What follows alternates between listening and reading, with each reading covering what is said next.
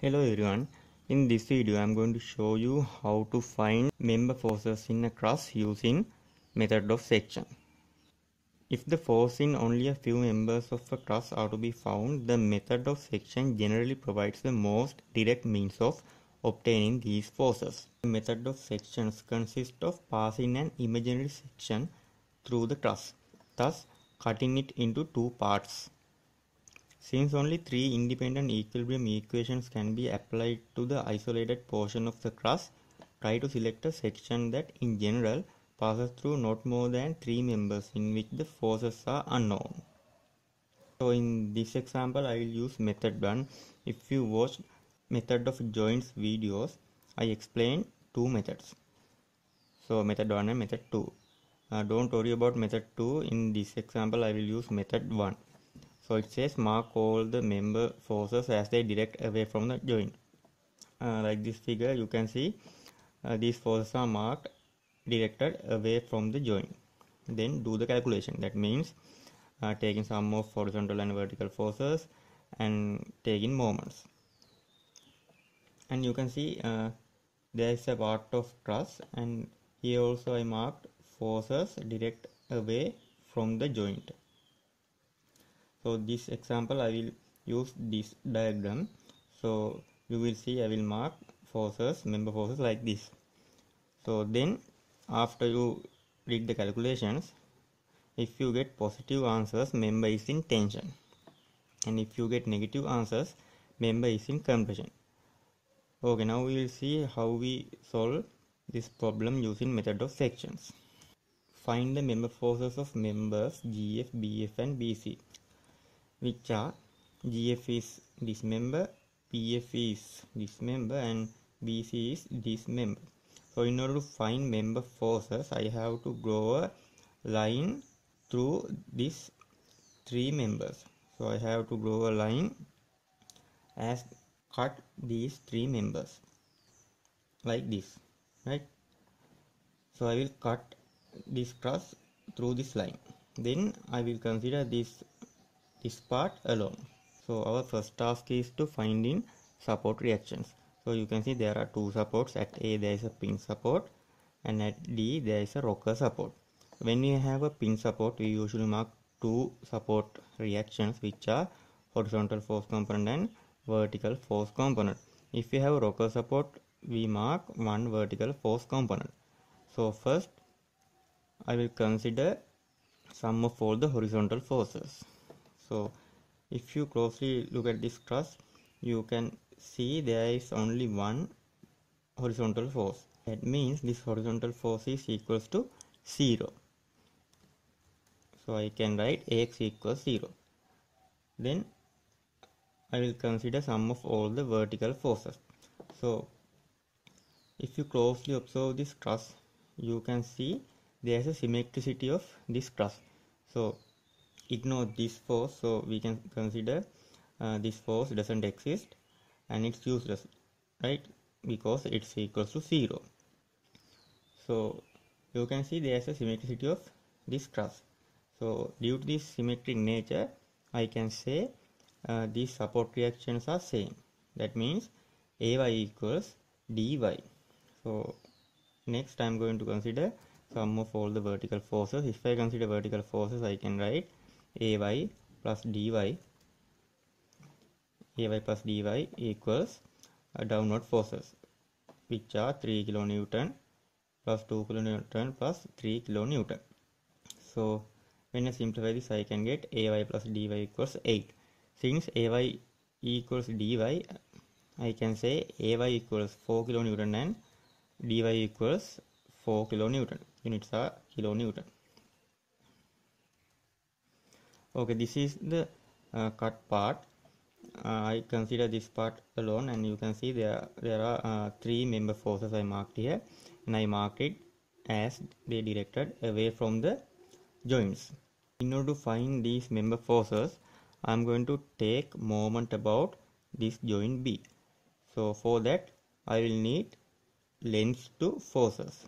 So which are I will mark it for you I will need this length. And also I will need this length. Right? If I take moment of this force I need this length. If I take moment of this force I need this length.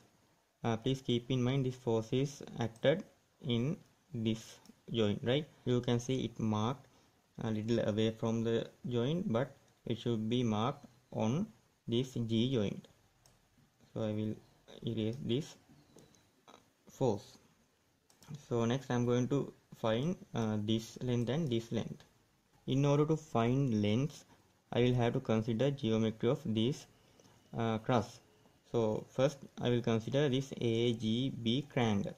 So you can see uh, there are three angles and two angles are same. So this is 30 degrees and this angle also 30 degrees.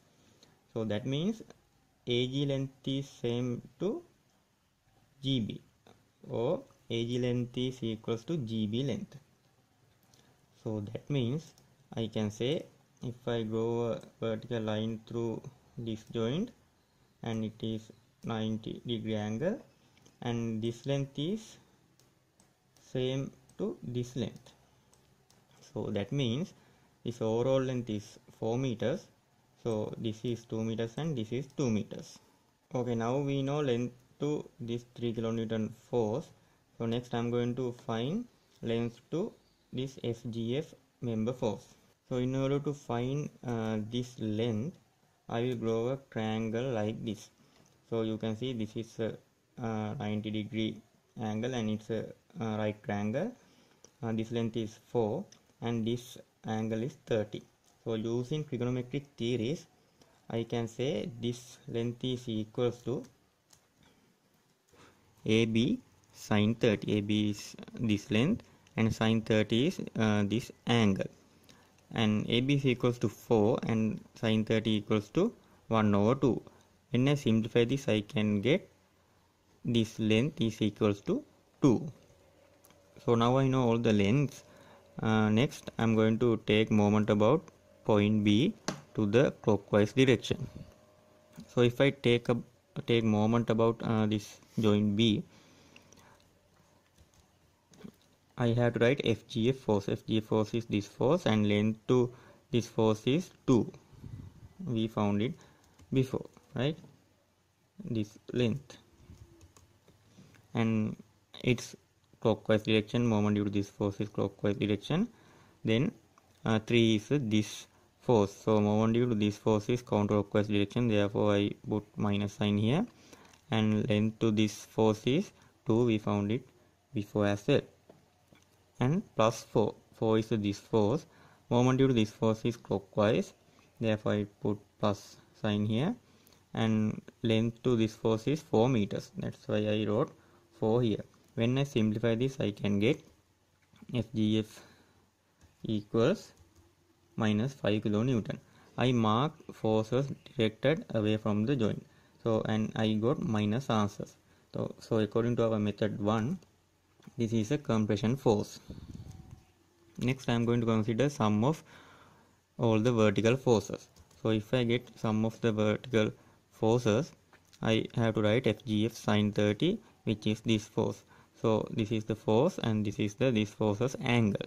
So if I consider vertical component of this force I have to write FGF sine 30 then FBF is this force and its vertical component is FBF sine 60 so this is the 60 angle.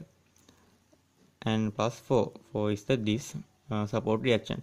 These all uh, forces are plus because it's directed upward. And minus 3 is this force it's directed downward therefore I put minus sign here then here I know FGF value it's minus 5 kilonewton I can substitute minus 5 kilonewton for this FGF force then I simplify it and I can get FBF equals 1.73 kilonewton and as you can see it's value therefore I can say it is a tension force. Now I know FGF value and FBF value. Next I am going to consider sum of all the horizontal forces.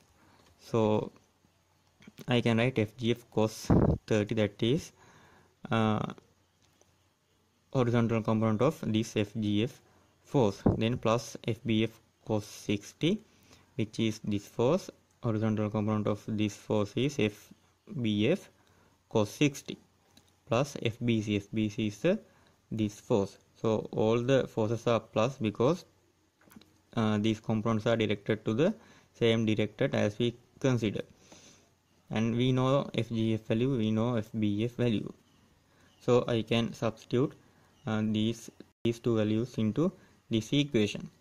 So I substitute it and finally I can get answer as F FBC equals to 3.46 kilonewton. And its plus value that means it is a tension force